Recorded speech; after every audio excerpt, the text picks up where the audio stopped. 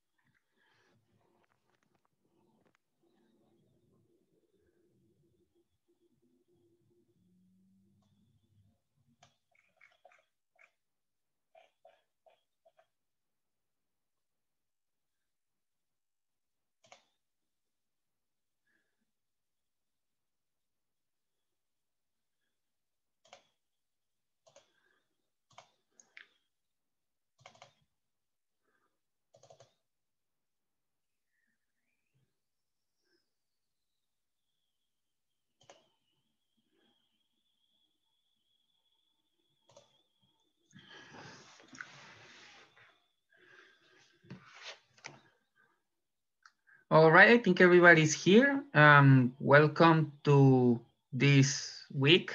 Mm, this will be week 11 um, of ME 142. Uh, today we are going to introduce, after following all the previous steps, uh, digital twin. We're going to know what is it, what is why is important digital twin uh, and is taking relevance on industry on these new days. Um, and in that sense, how we can develop a digital twin for Mechatronic applications. We're going to have an introduction about how to do it. And basically in the lab, you are going to work with some digital twins that we already developed on Mesa Lab. That's like the main idea itself. So uh, that's how we are going to, to proceed today. Uh, the tutorial for today, uh, I'm going to, I mean, I'm going to speak today. It's not pre-recorded. So um, it's, I mean, if you want to take notes for for today purpose is okay. However, this recording will be available after the class finishes. So no worries if you miss any detail that you consider important, this meeting will be totally recorded for next uh, for for your next usages. Uh, before beginning, I want to launch a pool. Um,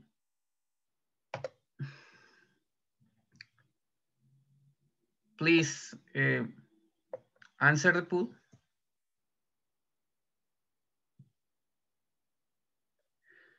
It's just like um, try to know a little bit how are your background or your skills um, regarding to some um,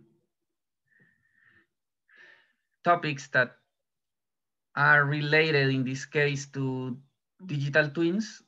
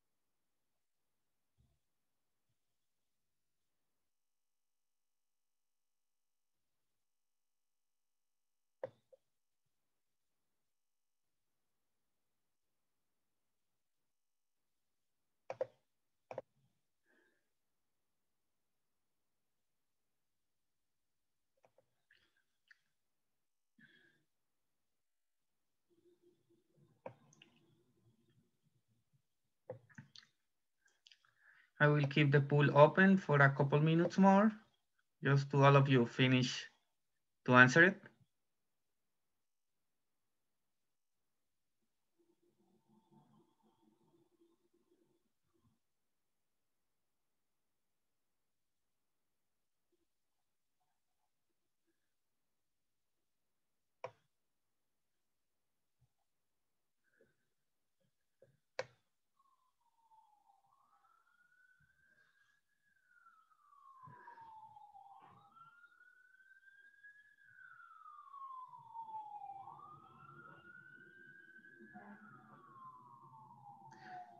Okay, I noticed something interesting. Half of you heard the digital twin concept before um, ME, the beginning of ME 142 class. That's interesting. Um, I noticed that you have some sort of knowledge um, of, of, of some artificial intelligence and data science skills. That's also good and many of you uh, didn't develop any kind of have any uh, experience with um, developing control system applications, but as we said maybe at the beginning of the course, no worries about that. Uh, we are going to get more experience as far as we advance with the course. Um, okay, I'm going to finish the pool here. Um, let me let me um, give you some notices. Um, this will be, I mean, this this week lab is the last lab before the final project. So this will be our final lab report for this week. Um, regarding to the final project, um, we are going to give you all the details on Friday uh, during during the ME 142 lecture, so please uh, attend the lecture in order to get all the details uh, regarding to the final project of ME 142. Uh, I can tell you in advance that is um, the developing of a digital twin application. That's, I can tell you that in advance, but all the details uh, will be provided to you on, on Friday. So please don't miss Friday class. Um, okay, so as I, okay, as I told you before, um, I'm going to, in this case, I'm going to make the, the tutorial session by myself. I'm going to, to talk uh, the topic today. So, but the recording will be available after the class finishes. So please, um, Okay, what's happening?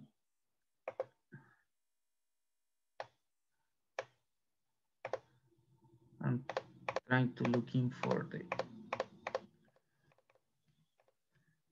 for the meeting controls. I cannot find it.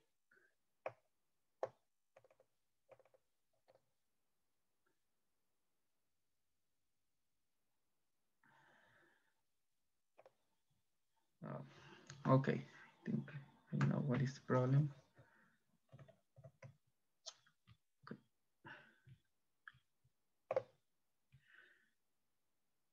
Um, okay, let me open the chat box.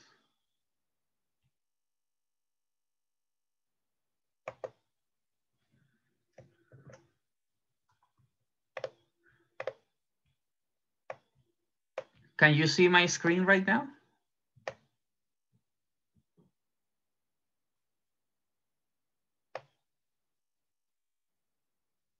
Can you see the screen, guys? Uh, please. Um,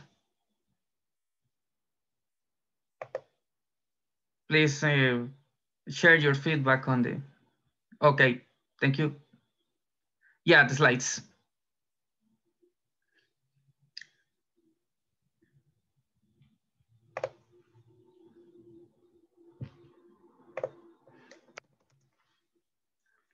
All right, so.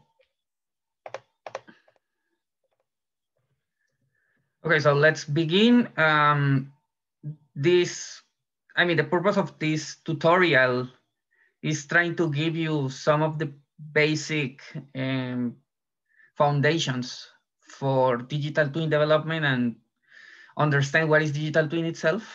Um, we are working really hard on Mesa Lab right now to develop uh, digital twin applications in um, to develop the to develop these digital twin applications in all the different in many different ways, not only for Mechatronics but also for many other uh, areas like gas sensing or autonomous driving. Uh, this topic can cover many things. So today we are going to give you just a small uh, view of what is this topic. Uh, okay, the outline for today, we have uh, an introduction about what is digital twin, uh, some definitions about what about digital twin applications, um, and background why it's important and why we need digital twin and why it's relevant uh, for the next years uh, from now. This topic is uh, is recent, however, um, the most um, focused efforts has been focused on the maybe the last two or three years. So this is a state of the art topic right now. And there is a lot of interest, not only from academia, but also from industry in order to make their systems smarter. So this is really interesting to analyze that. Uh, then we are going to see how to build a digital twin from scratch. In this case, um, using uh, Simscape uh, however, we can use many other softwares to perform digital twin applications. Okay, at the end, here sets ISO Peltier system, but we are not going to do temperature in this case. We're going to do today um, DC motor. We're going to do a velocity control uh, for a Mechatronic system. So that's that's the only thing. Okay, let's begin with some background um, you know that right now uh, industry is in what is considered the 4.0 industry or in some sense the smart factory itself. Uh, to understand a little bit what is uh, a smart factory let's begin from the first industrial revolution. I mean right now we have four industrial revolution itself. Uh, the first one on the 18th century um, was power used due to the steam machines.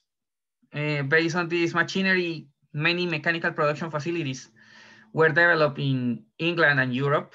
And based on that, uh, and based on that facilities, uh, many uh, processes that could take a lot of manual work was really simplified and allow mass production of goods and services. So at that moment, again, the steam was the was the um, the the driver of that revolution. However, uh, steam has a problem. It's not totally efficient, and many of the power that can be used for this process relies on coal and also the the power. I mean, the power that you can use, especially for more uh, precise goods and services, was not totally uh, used. So the industry 4.0 uh, employ electricity. In this case, the electricity is a game changer in the sense that many processes can be do in more precise way with less waste of energy and with a better uh, with better ending. It means you can make more precise products. Um, this is at the beginning of the 20th century. Uh, this is one, the main example is the assembly line that was one of the main goals of this uh, second industrial revolution. Uh, the pipeline production, it means producing parallel without, uh, without stopping. I mean, considering that before maybe an artisan or some or someone has to tailor everything by hand and wait until finishing to get everything. Um, also in this case, I mean, the most uh, famous example is the car manufacturing uh, this case Ford Motor Company, the Model T assembly line.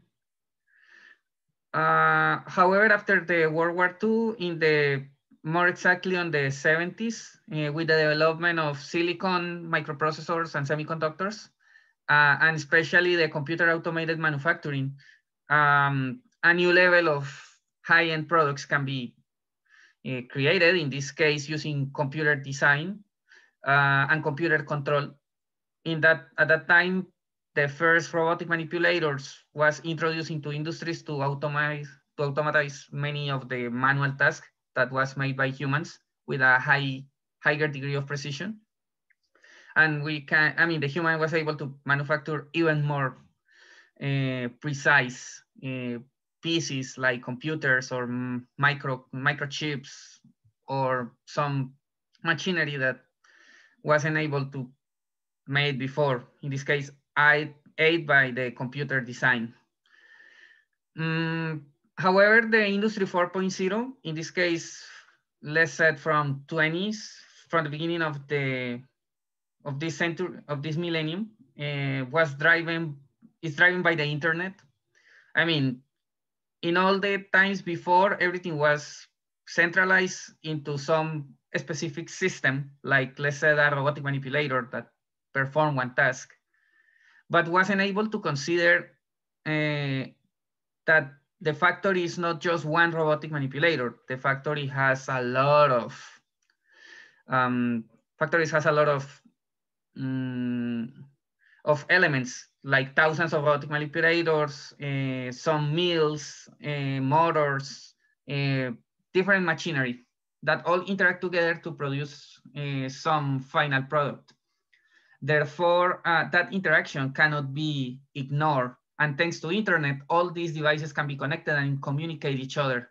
And that interaction and communication creates itself more information, more data. Um, indeed, for uh, the use of internet generate that the, the word that we call today that is the big data. However, that, I mean, in the case of industry, this is also really, really important in the sense that we can understand things that and work with the system in a way that is not just like a small subsystem, just not just one robotic arm, but the, I mean, the the complex uh, reunion of all these elements. So this is driven by different technologies like the cloud computing, the Internet of Things, cyber physical systems, system with physical parts, system with virtual part, uh, multi-agent interaction, smart manufacturing. It means involving some digital techniques like artificial intelligence in order to enhance the production levels. Uh, of course, uh, if we look from the manufacturing point of view, this is one way to see it. However, um, the appearance of data uh, extend the industry concept more than just manufacture and just the factory. You have data, you can provide services based on your data, some analytics, and get uh, insights from all that, inform that information that you have from all your systems. So right now in this smart factory, um, we need more complex tools in order to model and simulate this kind of uh, more, comp more complex factory and cyber physical systems. We are not talking about, about one thing, but we are talking about the combination of all of them. Uh, that uh, goes into something that is called in our case, industrial artificial intelligence. That is basically the application of artificial, artificial intelligence and these data analytics, big data uh, technologies uh, for industry in order to enhance operation, efficiency, and performance, uh, trying to fulfill some characteristics like resilience.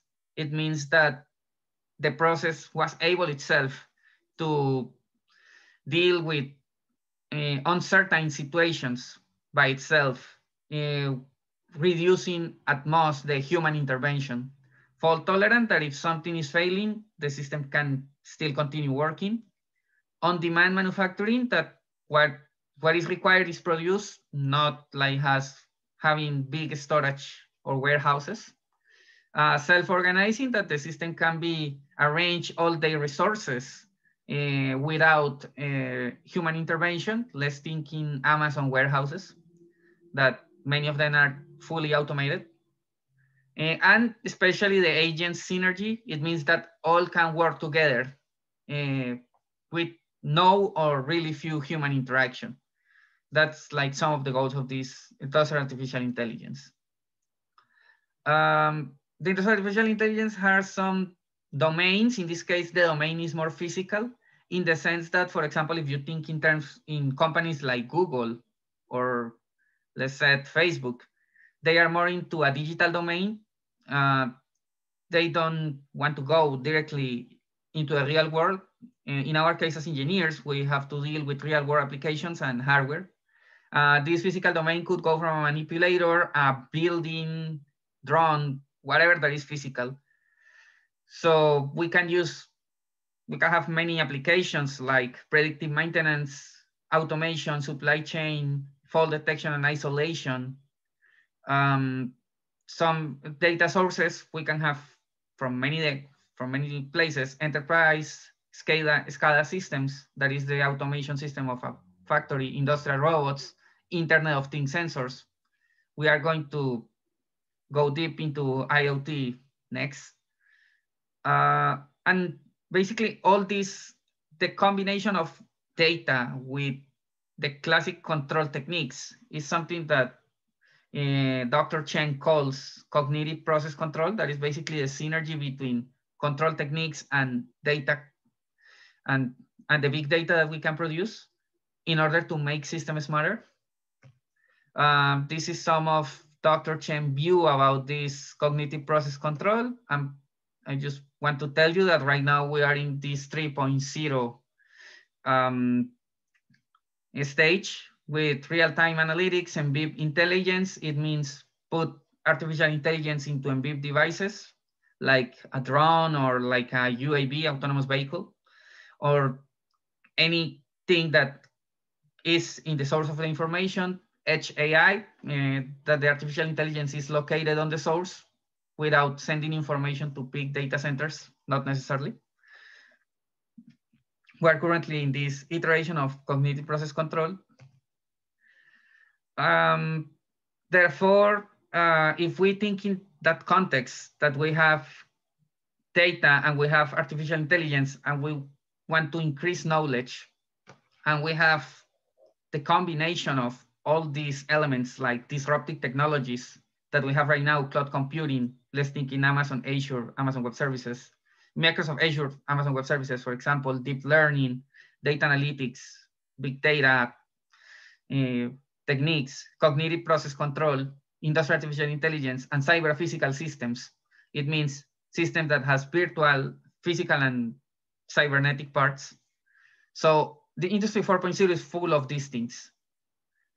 So in our case, what is important for us is that we need uh, some unified, realistic, and detailed representation of these systems that combines data, that combines controls, that combines uh, AI, that combines cloud computing, uh, that is reliable to develop uh, Industry 4.0 applications and enhance the productivity of the system. In that sense, is where digital twin came uh, as result uh, of this. I mean, it results as the need of this unified model. That's why it's important, this digital twin. How to understand this interaction that maybe we cannot quantify just by a single equation or we cannot quantify, uh, but, but independent models. We need to understand the connection and the big picture of, of the system. It's not like just one small part. So that's one of our motivations for dealing with digital twins. Uh, okay, so now what is a digital twin? Um, let's define digital twin in a more strict way. I mean, like a definition. Mm, we can say that digital twin is a virtual representation of a physical system. Uh, take this into account always. Um, we want to make a representation of any system using uh, computing technologies or or in this case, in a virtual environment using in this case multi-domain simulation tools. Um, multi-domain simulation tools means tools that can simulate the physics, the interaction, or that can represent the behavior of the system. Uh, and it's not only in us, and it's not limited to just one of these tools. Could be a combination of many of them to replicate one uh, physical system. For example, thinking this oil rig, this is just like a big representation ultra detailed and realistic uh, as much as is possible. Uh, with many data-driven capabilities, it means that we can get, uh, uh, grab and gather a lot of data from the system. And in that sense, um, create real-time updatable uh, feedback from the system. I mean, we take data from the system, we update this model in real time, and based on these models, we can um, perform many actions like analytics, fault detection, prognosis, predict some trends in order to understand at the end what is the the real to understand what is the what is happening on the system. I mean, maybe we can see one part, but if we use these advanced analysis techniques, we can see further than what we are looking right now. And not only looking, but make the system uh, react smart in the presence of these uh, uncertainties or unknown uh, behaviors. That's one of the key things here about digital twin. Uh, the concept of digital twin begins in 20 in 203 um, by Professor Michael Grieves in Michigan University in his product life management course. Uh, this is like the first definition of digital twin. Digital twin is a virtual digital equivalent to a physical product.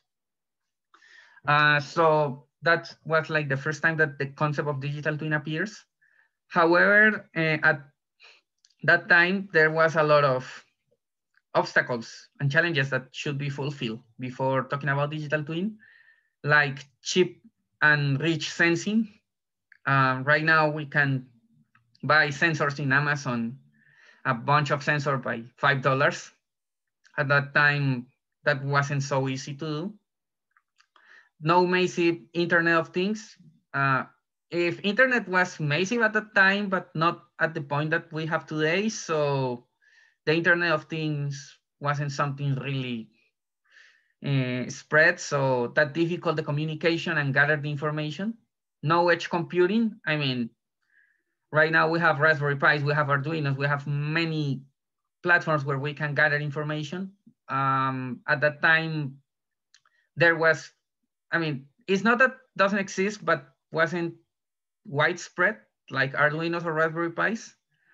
And the developing for that platforms wasn't so easy. At least you have a degree on computer science or something like that. So that would take more time.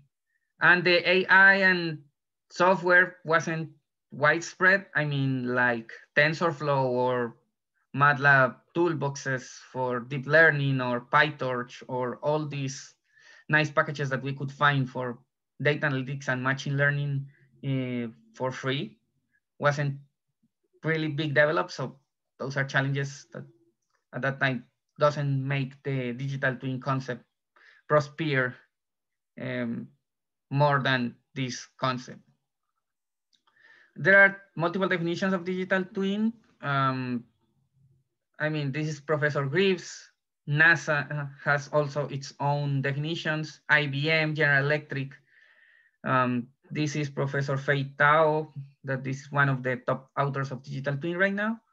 Um, you can read these definitions, but basically all of them uh, try to summarize these uh, parameters that we see here. Um, this is our definition as Mesa Lab for digital twin. Um, we can say that digital twin is a combination of multiple individual and detailed simulation models, continuous time, discrete time, hybrid models, where its interconnection represents the dynamic of a complex system, which is updated periodically, uh, window or real time, uh, with the system information in order to reflect the system currently status, as well as predict its future behavior and possible faults. Uh, that is like our definition of digital twin from MesaLab. Mm, let's highlight that digital twin itself is a virtual representation of any system. Um, we require a high detail modeling. I mean, consider as much things as we can in order to replicate the system better. Um, we can do something like life cycle estimation, uh, consider the interconnected dynamic, and in this case, the system should be powered by IoT and edge computing uh, devices. Uh, so this is something that we are going to see as much as we advance with towards digital twin. Uh, let's describe the structure of digital twin. Mm, here, as you can see, we have like two domains, the physical domain and the digital domain or environment in this case. Um, the physical system, for example, here we have a robotic manipulator. That robotic manipulator has some controllers, some motors, some drivers, and many small mechanical components, electrical components, pneumatic, that conforms the system itself. Basically, we can gather this data and send this data in real time using IoT and edge computing devices into this virtual environment that could be a that could be an edge computer or any general computing device, where the digital twin prototype is uh, stored. This digital twin, as you can see here, for example, we have a replica a replica of this mechanical part, a replica of this act of this motor. We have a replica of the controller, and so on. We can introduce as many replicas of the system as, as we need. In that sense, this digital twin model will work in some sense like the like a object in pro, in programming in object-oriented programming. Uh, this will be like our blueprint, and based on that blueprint, uh, we can create instances of the same model with some similar properties to, to in this case, um, uh, object oriented programming like one instance for control, one instance for prognosis, one instance for revenue analysis, controller design, fault detection. We can create multiple instances of this digital twin prototype. And all these instances will help us to analyze what happened under different conditions. That's like the main idea.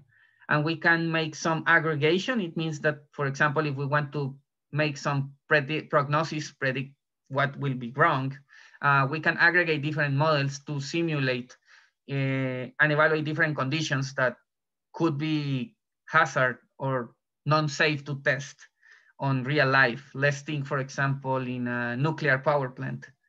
Um, if you want to simulate any risk, risky condition or some fault condition, Uh, of course, you need a model. You want to do in a computer environment. You don't want to do in real life. You can, I mean, the consequences could be really bad. Or if you want to simulate, for example, some plane or car uh, failure, you don't want to do in real life. You want to do a simulator. Yeah. So that will be part of this digital twin structure. Um, some features, individual component modeling. Each component by itself is modeled.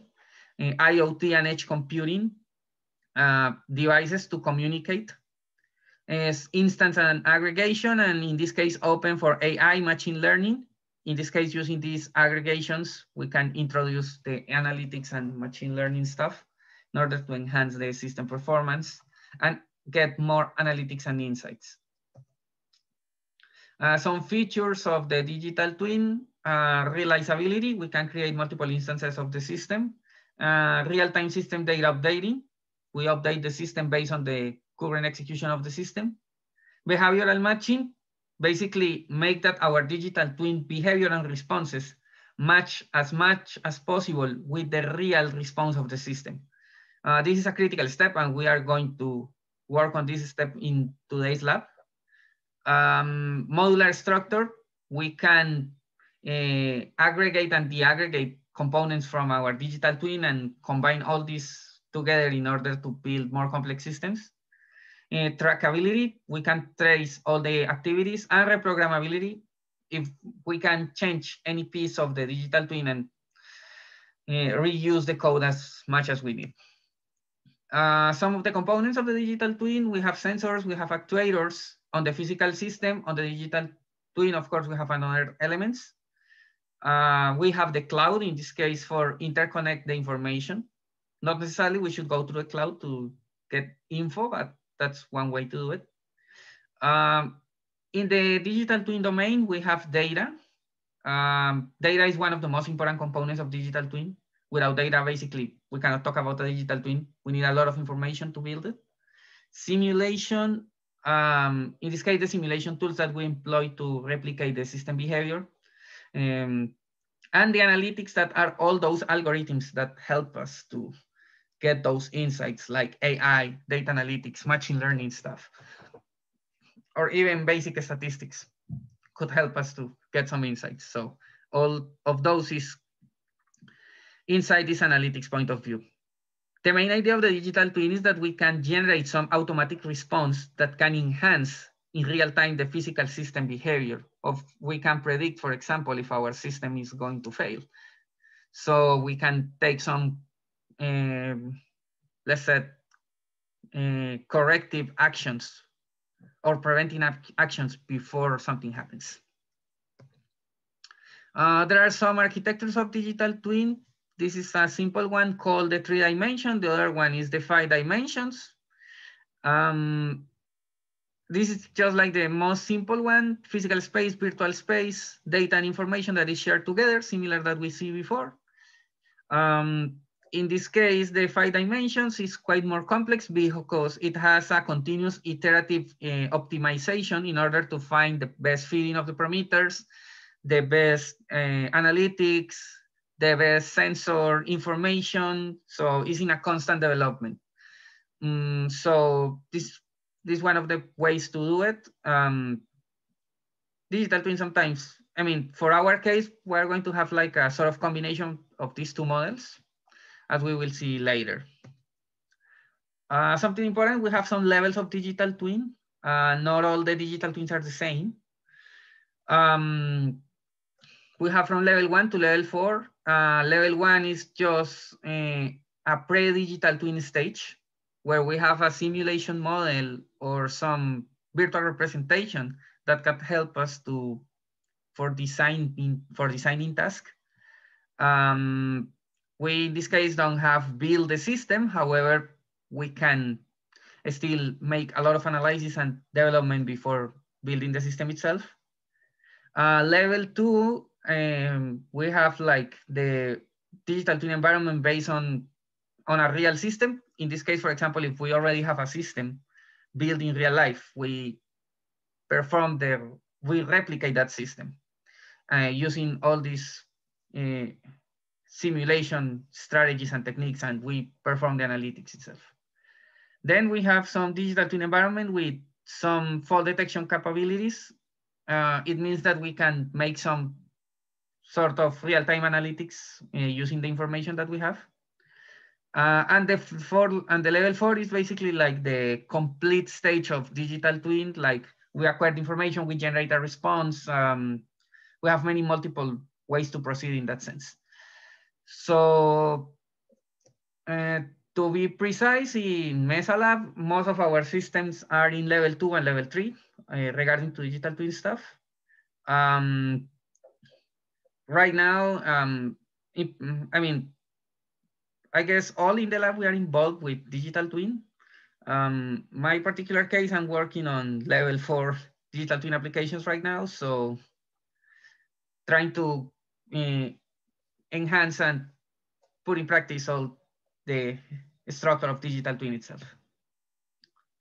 Uh, some challenges, um, like the modeling, one is the modeling of each subsystem, how much complexity we want um, and how much detail level we require uh, is enough to represent the system by, I don't know, uh, linear regression, or we need a deep learning model, or we need a transfer function, or we need a finite element software, or we need some multi-body dynamic, or we need some multi-physics.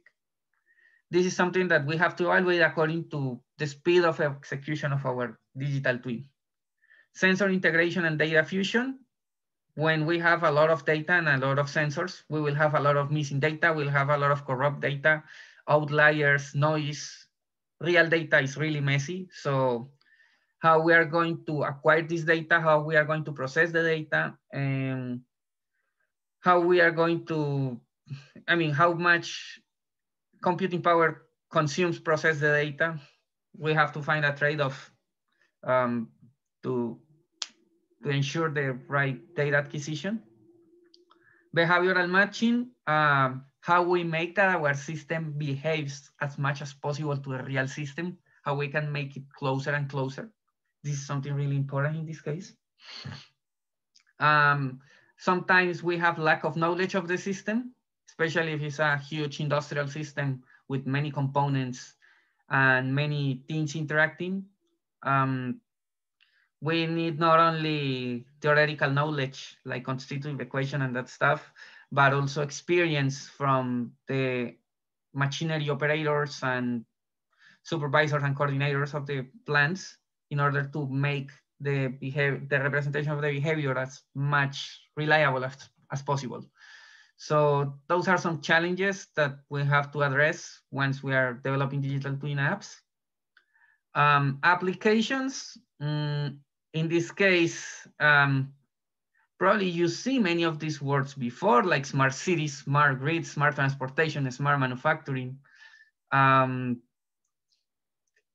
all of the, I mean, all, in this case, all that has the word smart implies that you need a more complex model because the word smart, for example, in city, grid, or transportation, implies that you are not alone you are inside an environment. And because you are inside an environment, you have to learn how to interact with that environment in order to get the best performance at the same time as you follow the rules of that, of that system. For example, let's think in smart transportation. You have to, I mean, the autonomous car has to drive itself. However, it has to satisfy the traffic rules and also should uh, should not um, irrespect uh, other uh, the traffic signals and and cannot crash other cars. So that's a lot of challenges, and that that's something that cannot be just considered the the autonomous car itself. It has to consider the whole environment. That's the reason why smart transportation is one of the big deals and requires a lot of research right now. Smart grid, if you are producing a lot of power um, and you can install solar panels on your house, um, how you can combine your the energy that you produce with the energy produced by the big power centrals, how you distribute the energy, how, how they buy you the energy that you produce, how the energy flows in the, in the grid. This is a lot of challenges and it's not about like just one uh, renewable energy installation. is like the network like as a live entity. similar with cities or similar with manufacturing if you have multiple pieces. So applications are there and I mean, we are like in the right moment to develop all of things. Mm, why is important digital twin? Um, this is a Gartner Hype Curve. Uh, this Hype Curve uh, is from 2018. Um, at 2018, digital twin was on the peak of expectations, inflated expectations. Uh, you know that each technology has a peak of expectations, then go to a then goes down like a valley of uncertainty. And then after that valley of uncertainty is, um, is surpassed, uh, it reached the plateau of productivity. It means like the technology is, is commercially able and can be employed uh, and is not in experimental right now at this point of at this stage will be something more um, industrial and commercial that can be used every time. For 2018, digital twin was in the peak. Um, right now, we are in this trough of the disillusionment. So disillusionment, so we're like here, but uh, probably in five to 10 years, digital twin will be a commercial technology. Many companies are working right now hard on implement this digital twin technology. So, I mean, once this uh, critical stage is uh, passed, um, digital twin will be something really useful for industry. Um, some expectations about 2025 said that the $35.8 billion um, will be the market share for digital twin, uh, more or less at the same time where the technology is in production. Some of the key players, General Electric, IBM, Microsoft, Siemens, Oracle, really big companies are interested on this, on this digital twin. Okay, um, I'm going through this really quick um, if we have digital twin, it means that we require a smart control engineering. Uh, this smart control engineering, according to NSF definition of a smart and autonomous system, means that the system should be cognizant. Uh, it means that the system is aware of its own capabilities uh, and weakness uh, in a, to perform uh, or satisfy one task. Taskable, it means that we can ask one task and we don't have to worry about how the machine do. The machine just just do similar to when we said uh, Siri, uh, what is, um, if we ask Siri, what is digital twin? We're not, I mean, Siri is going to Google and do all the search and give you a response or give you a list of results. You don't have to go manually and type and make the search um, is could be compared in, in that sense. We can set to the machinery or the system, I need 10,000 units of some product and the system automatically produce the 10,000 units without human intervention. The system already out self-regulate. Reflective, the system should learn from past experiences. So that's really important. Um, knowledge rich, remember all that big data we talk about, we need a lot of information to reach that point. So that's also really important. Uh, ethical, that adhere to some social uh, regulations. Um, for example, in the case of the autonomous car, uh, the car should uh, attach to the traffic rules. So, and also to the legal, to the law, uh, respecting to, to all the traffic stuff. So that's, that could be one of the examples. Uh, again, um, if we are aware of these properties, uh, we need to leverage, I mean, we can leverage uh, some of these uh, characteristics through the digital twin because we can replicate and made a lot of virtual analysis before um, provide some final product. So that will be one of the uses of digital twin. Uh, based on digital twin, we will have some enabled capabilities like smart control system design, control performance assessment, self-optimizing control, prognosis and fault detection, parallel sensing and control. Uh, we will have many things that we can use um, and we could have. However, um, I'm not going through all these small uh, enabled capabilities. Uh, each of each of one uh, itself require a. I mean, it's a research topic. I'm not going through all of this. Um, I just want to mention the MAD methodology, the classic, the classic MAD uh, proposed by Professor Kevin Moore.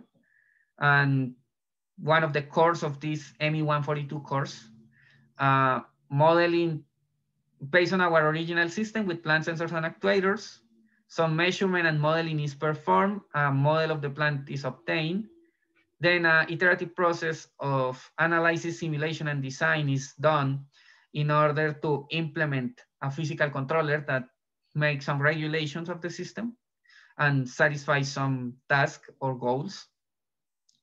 Uh, however, if we introduce digital twin uh, in the loop, we can have, I mean, we can keep in a constant uh, developing an evolution of this controller in the sense that we are not, I mean, we don't need to repeat the process from the beginning, but using the digital twin in parallel with the MAD we can keep updating and enhancing the performance and making smarter the system.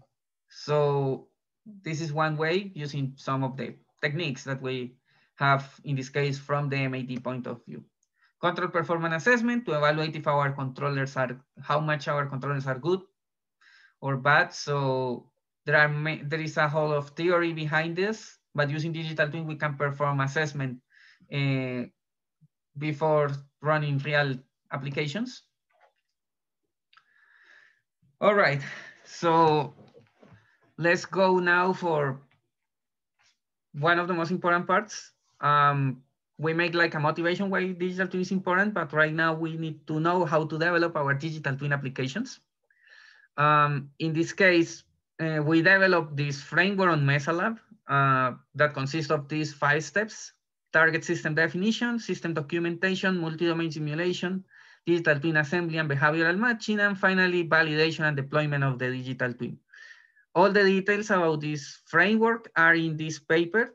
Uh, if you want to check, uh, you can go and check all the details. I'm going to summarize the details and I'm going to show you how to apply these steps to develop a Mechatronic application in this case.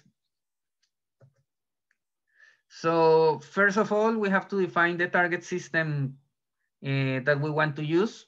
Um, in we could we could have two scenarios. One where we use the digital twin as pre-stage, using like a computer-assisted model. Uh, we can conceptualize using digital twins the system that we want to design or we want to control, or basically a digital twin level one. Or in the level two or three, um, or four, we can have the physical system and we want to replicate the system uh, using this multi-physics uh, or digital twin uh, representation, considering all the elements that we could have, uh, the closed loop operation, the control sensors, actuators, available data streams, minimum requirements for the digital twin, and so on. Once we define our target scenario, most of our cases will be this number two.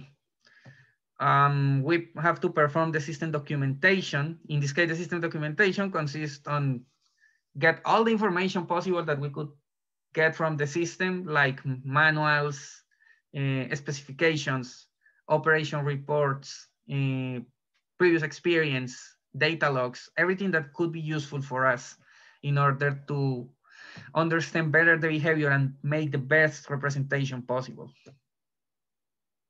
Um, once we gather all the information from our system, we proceed to the multi-domain simulation. In this case, the multi-domain simulation means that we are going to use different tools in order to replicate the behavior of the system in the best way possible. Uh, there are like three type of models uh, one model, one type of model could be the data-driven models. Let's think in that sense, like uh, machine learning models, uh, like neural networks, uh, linear reg uh, regression techniques. Um, there is, I mean, there is a huge type of model that we could use. Physical-based models, uh, that is more like we do on Mechatronic course. We develop uh, based from the constitutive laws of the system, all the, we analyze all the different uh, mathematical, mathematics behind the system and the physics involved in order to make a more robust model. Uh, we can have a hybrid-based modeling. We can have some parts from physics and another parts estimated from data-driven models because not always we have all the information available and not all the systems are uh, easy to model and analyze. So many cases, in many cases, we will have this type of hybrid-based modeling using some physics and mathematical information and some data-driven information. Um, tools for make this multi-domain simulation, uh, there is a lot. It depends of what you want to simulate and in how much detail you want.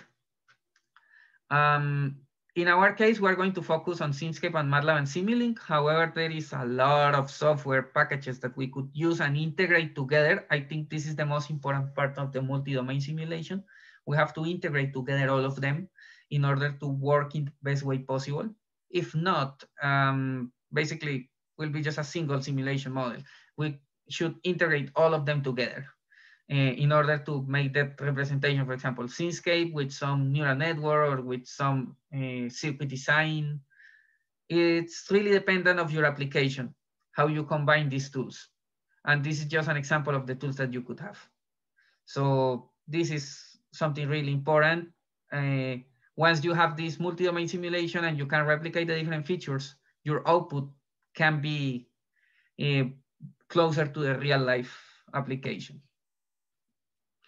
Uh, the fourth step, the behavioral matching. In this case, um, we will have a digital twin. That digital twin will have a lot of parameters that sometimes are provided by the manufacturer of the component. However, um, those values in most of the cases are not sustained in the sense that the mechanical fatigue and the age and use of the systems will make the, um, um, will degrade the pieces and any external conditions like extreme heat or humidity can uh, change the properties of the materials and so on. So we, I mean, we will have always to find the right parameters from our system. Uh, so this behavioral matching process, what does is takes the input and output data streams of our system. And based on that input and output data streams, we try to find the missing parameters uh, or the right parameters, either way, uh, that represents and fits better to the actual system response. That's the main idea of this behavioral matching. This is one of the key steps because even if we have a simulation model with a lot of multi-physics softwares, uh, one important thing here is that if we don't have the right parameters, basically we are replicating a different system. So this is crucial. We are going to learn how to do this um, behavioral matching using some tools in MATLAB today. So let's let's see how, how we can proceed.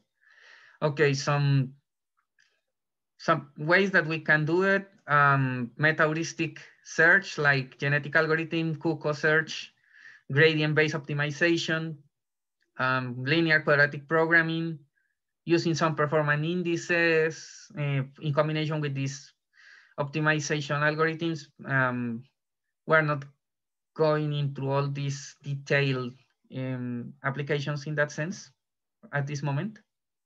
Finally, the validation and deployment. Um, once we have the model working, we have to deploy. Deploy means that the model is going to run uh, online with your system or is going to be represented in some way and you have to have a, some user interface that can um, see and, and uh, to see the response of the system and interact with the data and perform the analytics. Mm, we need a supervisory interface that monitors the system. We need real-time operation in parallel with the system. And we have to show the behavioral matching and all the results that we have. So in huge applications where we have a lot of sensors and a lot of distribute information, not only in, let's say, a factory, but we could have information distributed around the world. Let's think, I don't know, oil rigs. Um, and you want to create a, a digital twin model of the drilling tool on multiple oil rigs on the world. You, I mean, you need some interface more robust like Amazon Web Services or Microsoft Azure that help you to centralize that information and perform all the analysis that you want, uh, relying in this case on cloud capabilities. If not, we can use uh, more, uh, not too complex architectures to make these representations. That could be another way to do it. Um, and this is basically what, uh, what will be our, in our final project, follow all these steps in order to deploy a digital twin that can be accessed remote, in this case, um, from, from some website that we can make that, make that possible. Um, okay, let's go with the study case for today. Um, in this case, this is a simple system, simple mechatronic system, but the main idea is that you get familiar with all the steps of the methodological framework for developing digital twin applications. This is a electrical motor, DC motor. In this case, the DC motor is controlled by an Arduino, um, a general purpose uh, microcontroller, uh, using a power driver in this case that control the power supply to this uh, motor. Uh, based on this system, we can perform velocity control and position control tasks so the two common tasks on Mechatronics. Um, is you can, as you can see here, this is like the block diagram of this system. Mm, in this case, we have the DC motor, we have a motor driver, there is this one here. The motor has incorporate a sensor. In this case, this sensor uh, is an encoder. Uh, that encoder will allow us to measure position and velocity. And based on the response of that encoder, either we are controlling position or velocity, we send this feedback. Um, uh, this is using hardware in the loop configuration. Uh, so the information is going to MATLAB Simulink that is going in that is running in real time with this um, with this hardware. Uh, inside the MATLAB Simulink, we have a PID controller that basically is, makes the regulation task in our case for the for the position or the velocity control, either way we want. And we have here the output. This is like the classic control loop that you see during the class. Uh, however, we can introduce many other effects on that, on that system. For example, we can introduce some physical effect called motor backlash, rate limit, delay, all that we need, uh, uh, we can, can be considered inside this block and will be part of this mod of this system. This is a quick description of the components, 12 volts, 60, 600 RPM motor, Arduino Mega, rotational encoder with 120 pulse per revolution. It means once the motor gives one revolution, it counts 120 pulses. External power supply running the, in this case, this is running in BBC control uh, using the C code generation for Arduino. So everything is here. As you can see, uh, the system has multiple components, not only the motor, not only the PID controller, and we have to consider all these elements when we want to recreate that virtual representation. This is something that we have to keep in mind always, how we made all these things work together. Um, in this case, this system is digital twin level two. It means that we already have the physical prototype and we want to replicate, in this case, the, the physical prototype using all the most detailed representation possible. Um, let's go to the second step, the system documentation. Um, here we have all the specifications for the Arduino Mega. I'm not going through all in detail to all the specifications that we could have. This is the motor with encoder. Those are like the general information for the motor. Power, um, motor size, load current, operation voltage, all that we need uh, in order to know how the system works properly. Uh, the power driver, how the power driver works, all the system specs. Mm, this is an open loop configuration if we want to perform some experiments over the motor and determine its dynamics and constants and everything else. Um, we have a motor driver, we have the DC motor, and we have the encoder. And basically, we can read this encoder. We can apply some signal. Uh, this control signal it represents pulse width modulation, PWM, that we could use to control the velocity or the position of the motor. So this is something important. We're going to use PWM to control the motor, and we have to replicate that PWM modulation using, in our case, the digital twin. We are going to see how these things are done uh, in a few minutes. Mm, some documentation of this system. Um, this is a summary of the overall components of the system. Mm, in this case, this table with DC motor parameters, uh, as you, uh, as maybe you could know, the motor has some parameters like uh, armature inductance, resistance, uh, elect electromotor field constant, constant, uh, rotor damping, inertia, those are mechanical properties. Uh, sometimes, I mean, the manufacturer provide you with some of those um, terms. However, um, those information provided by the manufacturer is in general for all the motors and they I mean, they manufacture thousands of these motors every time. So those are like a general parameters. We need to know the real ones. Those parameters here are after the behavioral matching that we're going to do. So this is something that we can also, that we should also consider. If, if, we, if you look any manual, the values are estimations. Uh, for the general case, and you need to know the, the parameters for your specific application under your operating conditions. Okay, so once we gather, gather all the information, we have to set up the multi-domain simulation. In this case, the multi-domain simulation, uh, we have to define the domains of, of interest for replication. Um, if we remember, this is a DC motor system. So we will have like three domains. One way we have the mechanical part, uh, the DC motor and the rotational sensor. It means we need to uh, simulate all these properties. The electrical part, we need to replicate the power driver that is uh, controlled by pulse width modulation, PWM. We need some, uh, okay, the power driver is the same H bridge um, the electrical part of the DC motor, uh, we need some comparator to measure the zero crossing and enable the system, I mean, the rotational, the rotation of the motor uh, in clockwise and counterclockwise sense. And in the digital domain, we have the PID controller, the analog to digital interfaces to, to acquire the, the system information. Those are like the three main domains for this system.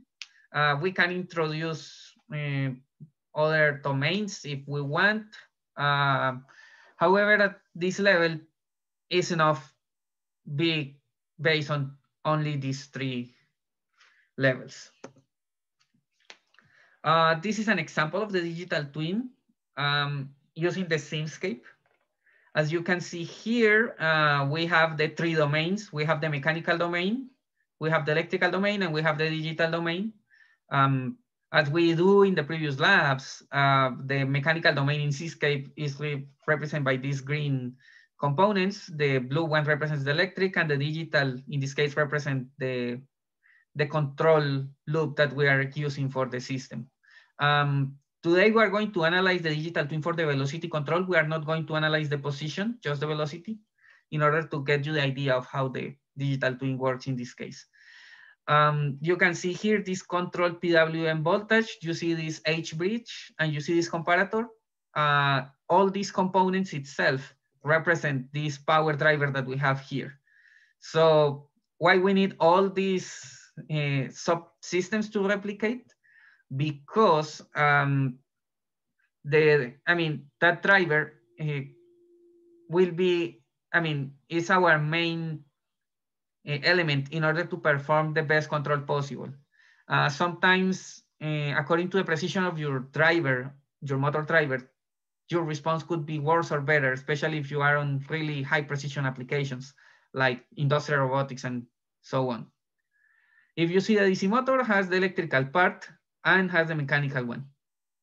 And here we have the PID controller in this side for the digital domain, as well as the reference signals and some signal scaling that we need in order to make everything works. We're going to see this more in detail in a few minutes.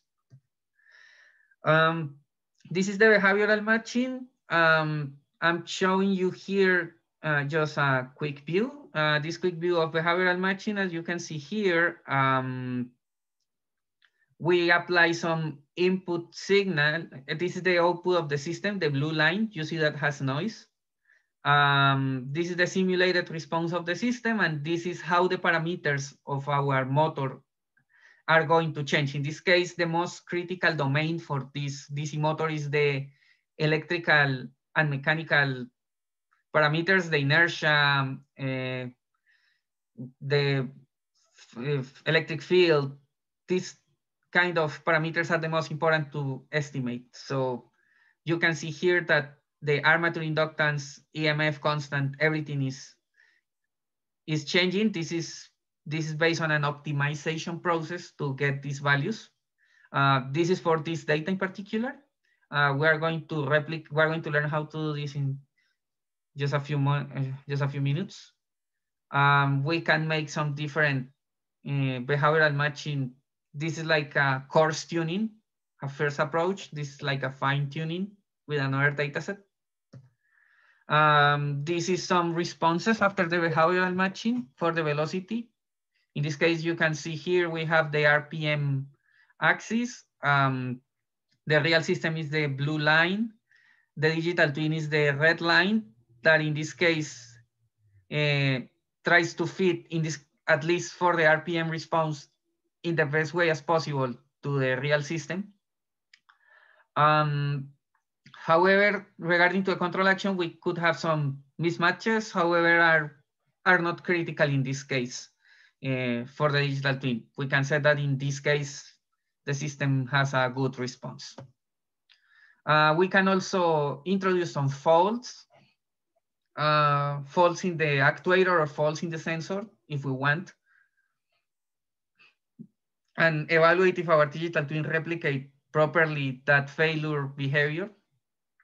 Here we introduce the failure behavior. You can see here that in this case, the control action, um, uh, the actuator fails and, and drives everything to 100%. And here we see that the RPM response is zero. So the behavior is matched in this case. We are not going to act, fault actuator today. I am just want to show you that we can use the digital twin to even analyze fault behaviors.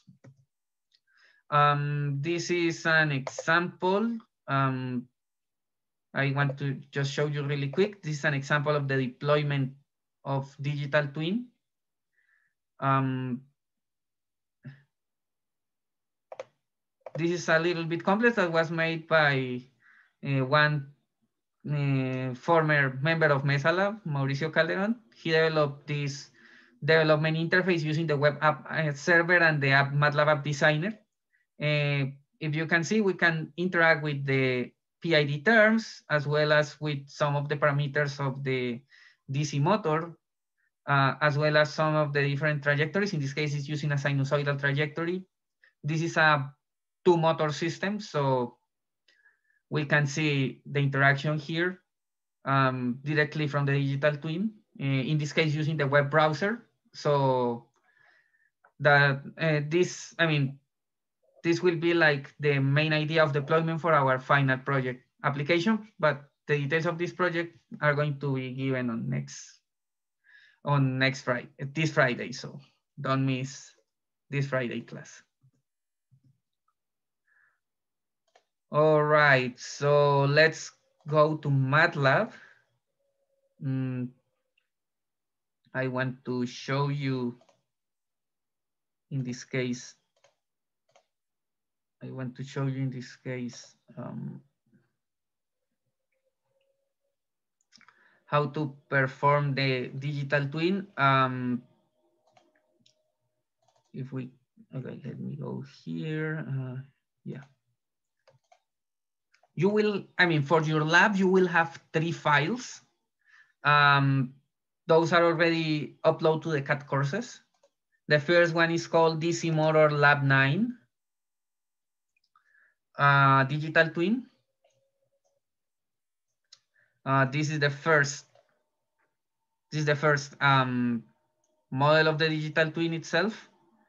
Um, has all the components that we see before. Uh, the main idea with this, with this system will be that you evaluate the open loop response. Um, basically, here is the input of the system.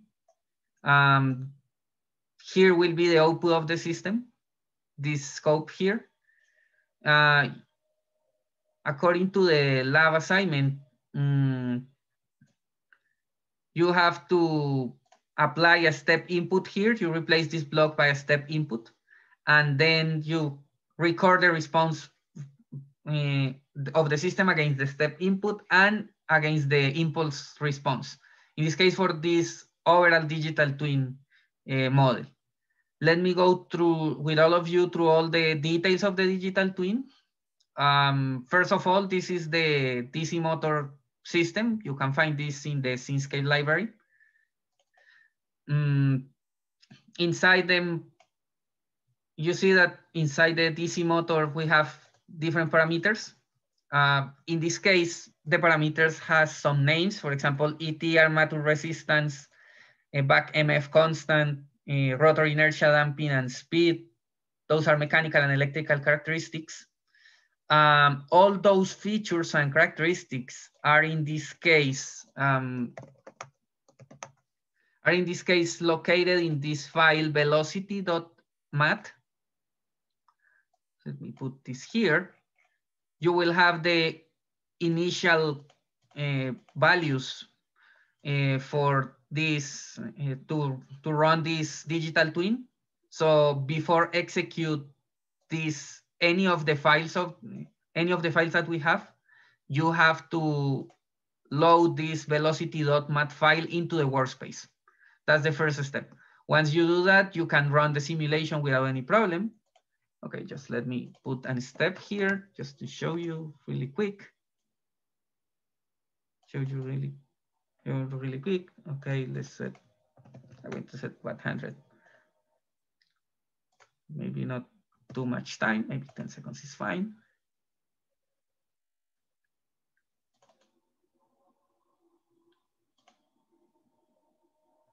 Okay, now you can see the response of the system. In this case, it's pretty fast. Um, it's a DC motor system, so it shouldn't take too long to make the, to get the response. So that should be fine. Um, in the case of the H-bridge, um, the parameters here are already given based on the driver that I show you on the slides. So you don't have to modify any of these parameters. Those parameters are already okay. Um, you don't need also to modify this PWM uh, voltage supply, uh, this frequency and this duty cycle is already adjusted to the to the real driver. Um, something really important here is this is this part. Um, you know, uh, this is voltage. Um, and this works, I mean, this initial part works into some logic level. So because it works in logic level, you know that the logic level works between zero and five volts. It means that our input and output for our system shouldn't be bigger than that. So if we do with the Arduino, we will have the same situation. Uh, therefore, um, therefore, um, we need this scaling block here. Um, for the PWM for any of the applications, um, this step that you see here, the input of the system before this scaling will be between zero and 255. It means zero, zero PWM, 255, 100% PWM. That's how the system understand that. And this is the scaling and this is the, and this scaling is just to transform that 255 between zero and five, a value between zero and five volts, just to the system understand. That's like the main, that's the main idea that that that you should notice here. This input is between zero and 255. Um, remember that you always have to set the solver here. Um, if you don't set the solver, Simscape is not able to do anything. Um, okay, what else? Um, it's important. I want to highlight this part because those parameters are the most sensitive in this digital twin and are those that we want to estimate. So we give that initial seed or initial guess and based on, and based on that guess, um, we can run this first part of the lab. Just that you analyze how the digital twin is made. Okay. Um, for the second part, uh, we have this it's essentially the same um, digital twin that you saw before, essentially is the same one. Um, the main difference here is that we are going to, this is called behavioral matching.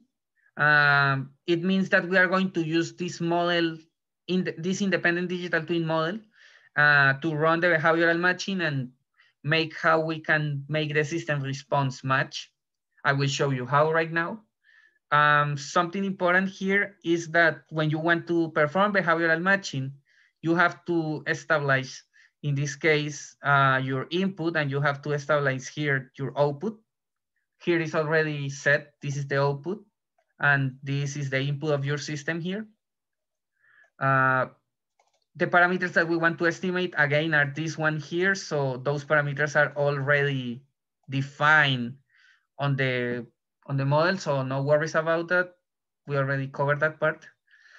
Um, so now let's see how we can do the, the parameter estimations. So if we, okay, if we go here to apps on the top of MATLAB of this model called digital behavioral matching, uh, you will have different tools that you could use like, okay, I don't know, um, linearization, uh, controller this control system tuner, uh, generate C code, generate videos, uh, many different tools. In this case, we are going to use this one called parameter estimator. That's the main important that we want.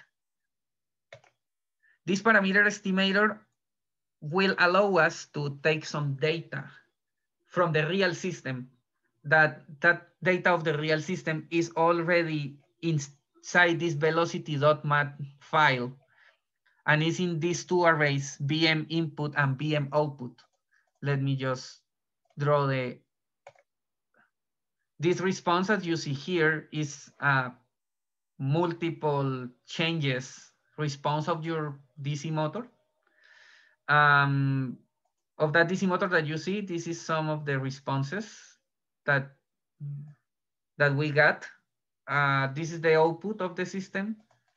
And we can see in a different plot the input of the system, the input signal between 0 and 255, and the output. So we, those will be our those will be our interest signal in this case. Output, uh, how you can know that this is a real output. Um, you see these peaks. Those peaks are due to the noise, measurement noise. All the real signals will have some noise level. Um, and this is like, like the noise level that we have in this case for the digital twin. For, for the real application, sorry. Okay, so those arrays are already inside the are already inside the the velocity.mat file that you have. Uh, let's go to behavioral matching in this case. Mm, okay, let me just erase this thing here. Um, okay, parameter estimator. Uh, we are going to came here um, we're going to create an experiment. Um, when we create experiment, uh, they are going, you can see that we have some outputs and inputs. We have one input, we have one output. The input and output in this case are related to this input here and this output here. Those are the ones that we want. Uh, for here, we are going to set behavior, uh, let me check the names on the workspace first. VM input and VM out, VM out, uh, VM out for the output, that is the first one. And VM input, that is the other name, you just type the name. If the variable is in the workspace, you will see here one by one signal.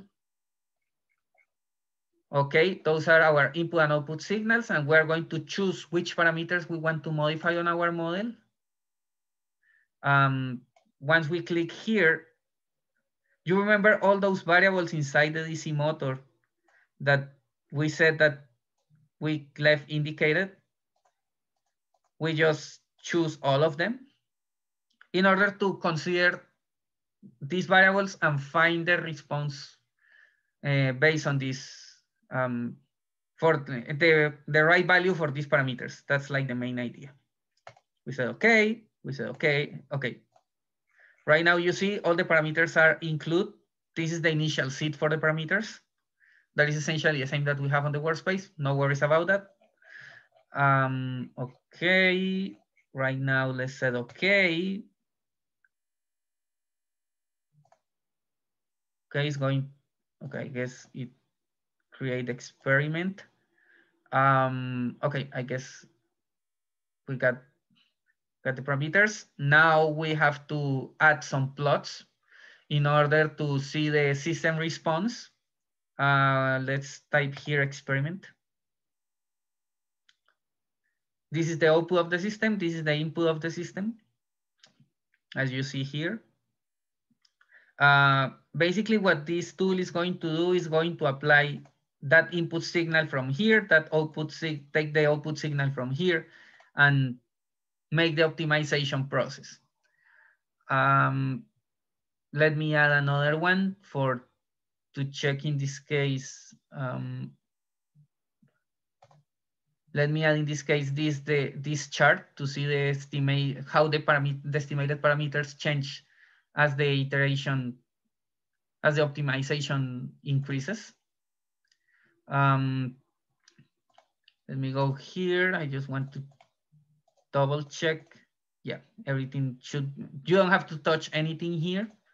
I just want to show you that you have many different algorithms that you could use. Don't touch this part, should be fine. Um, yeah, um, what else? Okay, in this case, I'm going to left the responses here. So let's do in this way. Um, um, okay. Uh, before run the estimation of the right parameters, uh, go here to select parameters uh, and select again all of them because last time we only choose the seeds. Okay, now you see here the list of parameters. So I guess now we are ready to run the experiment. Just let me, okay, just let me run here the estimation. Uh, okay, I think I made a mistake. Let me, let me redo the process again, just to be sure that everything works. Okay, um, let me choose the parameters first. Should be this one. Let's let's do again.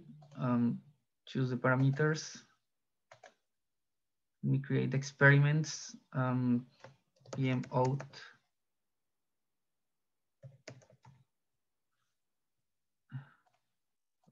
PM out. PM input. Let's add the plot. Okay, let's add the plots again.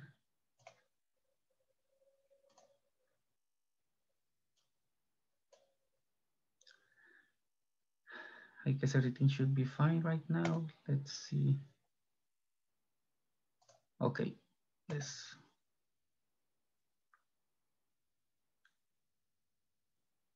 Run the parameters.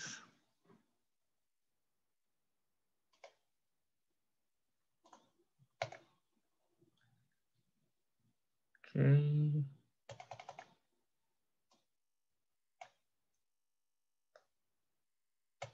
What is happening?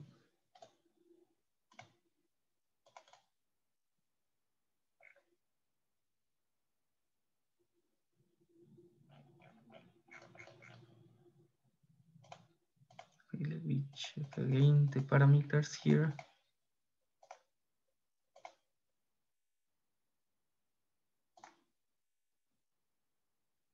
Okay, now it should work. Um, this process will be a little bit time consuming. This process will be really time consuming, maybe take like five to six minutes to get the response. So once we, I mean, after, after each iteration is finished, this is an optimization process, so that will take some time. Um, you will see a, diff, a second line um, trying, uh, looking for the, that replicates the output of the system. And also you will see the parameters change here. Um, just, okay, let's wait a little bit, please. Um, Okay. I think I can show you something else after. Okay. Now it works. You see the orange line is the is, is the simulated response is trying to find the right parameters for the digital twin.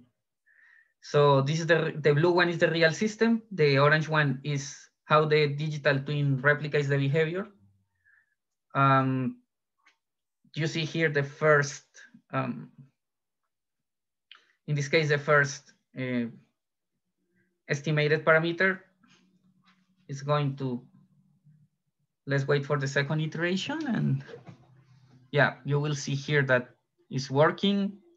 Um, maybe in this case, the change is not too much, but it's going to change eventually after some iterations. Yeah, eventually it's going to change.